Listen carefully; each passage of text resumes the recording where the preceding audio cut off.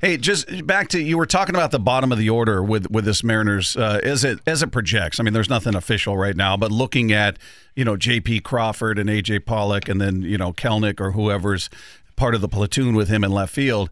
I agree with you. There's there's it, it could be great, you know, as we talked about. Maybe Kelenic finds it, maybe Pollock re- reverts back to form and all that.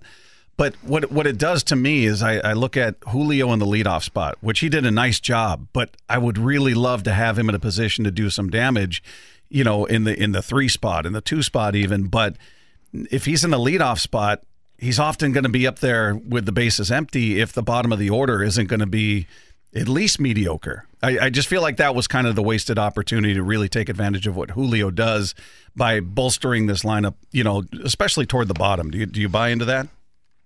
I totally agree, and I, I say that as someone who generally doesn't pay attention to batting orders because they don't matter that much. But in this sense, you if he's going to lead off, so now you've guaranteed absolutely at least one time a game he comes up with the bases loaded because it's the start of the game. And then yeah, if he's hitting after Crawford, Pollock, Kelenic, even Raleigh, right, who might hit number six, good power guy, but he's not a very good on base guy. Right. So how many times are you having what we all would agree is your best hitter, Julio Rodriguez, coming up with the bases empty I don't love that, but I'm with you. What are the other options? You know, Crawford's not a great option. Wong maybe, but it's it's not great.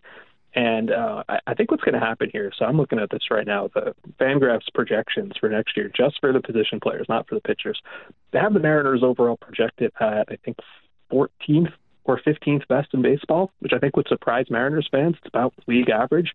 I might take the over on that a little bit, but not by a lot.